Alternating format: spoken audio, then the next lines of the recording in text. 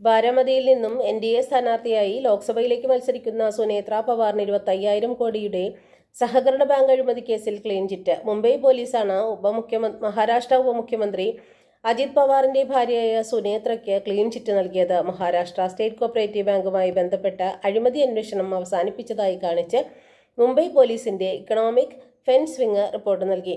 Maharashtra state cooperative ബാങ്കിലെ ഉദ്യോഗസ്ഥർ സഹകരണ പഞ്ചസാര ഫാക്ടറി ഉടമകൾക്കും അവരുടെ ബന്ധുക്കൾക്കും മറ്റു വ്യക്തികൾക്കും കൃത്യമായ നടപടിക്രമങ്ങൾ പാലിക്കാതെ വായ്പ നൽകി എന്നതാണ് കേസ്. സുനേത്രയ്ക്ക് ജയ് ആഗ്രോടെക് എന്ന കമ്പനിയുടെ ഡയറക്ടർ എന്ന നിലയിൽ പഞ്ചസാര ഫാക്ടറിയിൽ നടത്തിയ ഇടപാടിന് ബന്ധമുണ്ടായിരുന്നു എന്നാണ് ആരോപണം.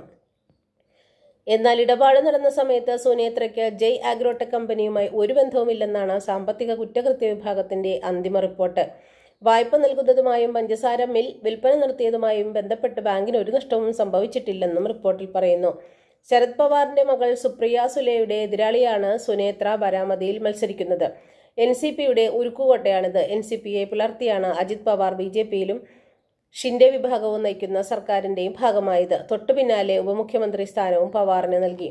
സുനേത്രയ്ക്ക് പോലീസ് ക്ലീൻ ചിറ്റ് നൽകിയതോടെ അഴിമതിക്കാരെ ബി ജെ പി അലക്കി വെളുപ്പിക്കുകയാണെന്ന ആരോപണവുമായി പ്രതിപക്ഷ പാർട്ടികൾ രംഗത്ത് വന്നു.